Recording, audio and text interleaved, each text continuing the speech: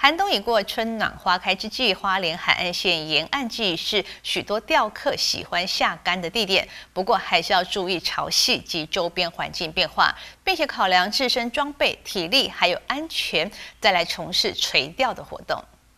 海巡署舰队分署第六花莲海巡队表示，接获钓客受困礁岩讯息之后，立即派遣第六海巡队巡防艇以及第一二岸巡队基奇安检所以及第一新社机动巡逻站人员赶赴现场展开岸海联合救援行动。但是因为受伤人员在近岸礁岩地势较陡峭，不易靠近施救，苦思无策之时，所幸巡防艇在最短时间赶赴现场。立即释放艇上小艇至近岸接驳，指挥艇上同仁成功将受困钓客救起。第九巡防区指挥部的通报，在花莲八旗番薯寮外海有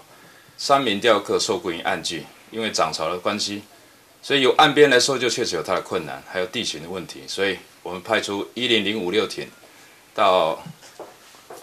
以及由接驳小艇来自海上来接驳，然后潮差。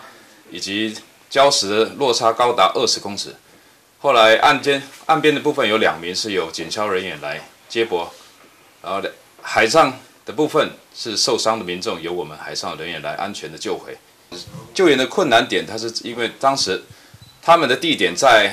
我们容易救援的地方，大概高低落差高达二十公尺，所以他在岸上来救援，即使是用绳索，还有这个海上状况，还有海浪在。